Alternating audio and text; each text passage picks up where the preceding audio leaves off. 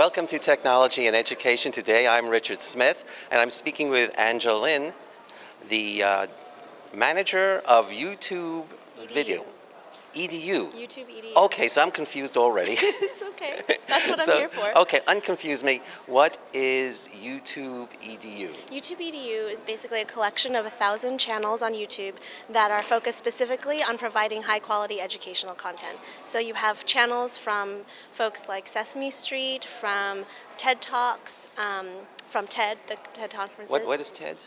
Technology Entertainment Design is a TED conference, and they Oh. have a lot of TED Talks about a variety of subjects. Um, but they also have a channel that's specific to education called TED Ed. So youtube.com slash TED Ed. Okay. Um, they have animated lessons that are um, they're teacher lessons. The audio is from great teachers from around the country, um, and it's animated so that students can actually uh, learn both visually and orally from those lessons. But we also have content from uh, a variety of creators.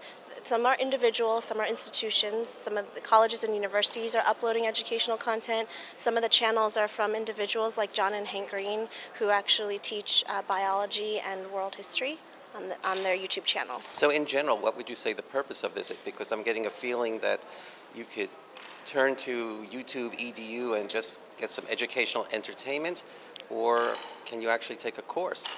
You can actually take a full course, um, but of course, to, in, to learn anything, you can't actually just have video. You actually need um, the context around the video. So I think you can think of our site as a place where you can pretty much learn anything, um, but the, uh, the, the power of video is actually enhanced by having it put in the right context. So um, it's a resource for a student, a teacher, a parent, anybody who wants to learn, and it's an additional tool as you would go to a library, a physical library, to find books that supplement your education. You can go to YouTube to find any video to supplement what you're learning. Oh, that's very modest. but I'm betting that sooner or later you'll be able to go to YouTube and other areas, uh, services, and, and just get your education. Because think of all the people who came to the United States and uh, had no real access to education beyond elementary school. And where did they go?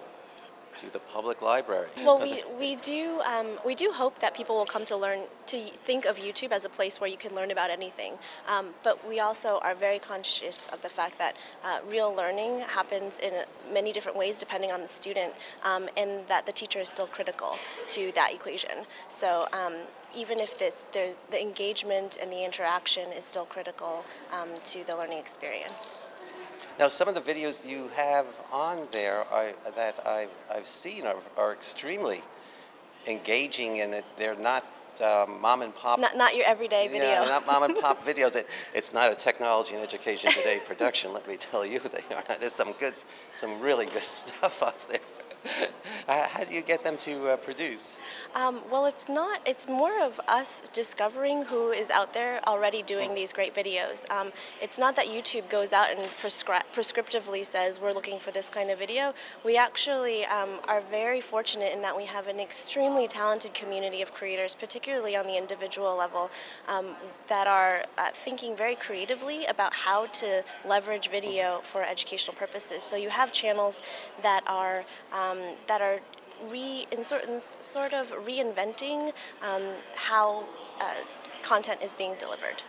Can anybody upload or get a channel and put educational videos up there, or is there some sort of evaluation process? Well, anybody can create a YouTube channel and start uploading videos. Now, To in order EDU. to be in order to be part of YouTube EDU, in order to be part of that corpus of content, um, they actually have to nominate, or someone has to nominate that channel. If you go to YouTube.com/teachers, um, there's a nomination form. So if you happen to find a channel that is not already part of YouTube EDU, you can actually nominate it, and then a team of teachers actually reviews that content to determine whether or not it is of high quality educational value. And safe.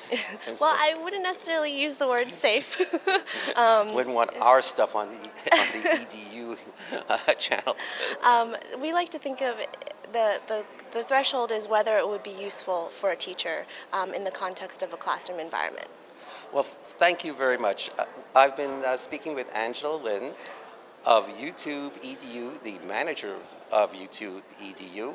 I'm Richard Smith. This is Technology and Education Today, and we are a production of the uh, Instructional Design and Technology program of the University of Houston Clear Lake.